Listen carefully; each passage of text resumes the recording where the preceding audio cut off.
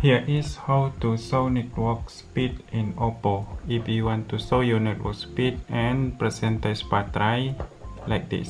Open your setting. In the setting you can see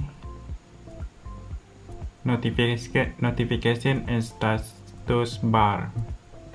Open notification status bar.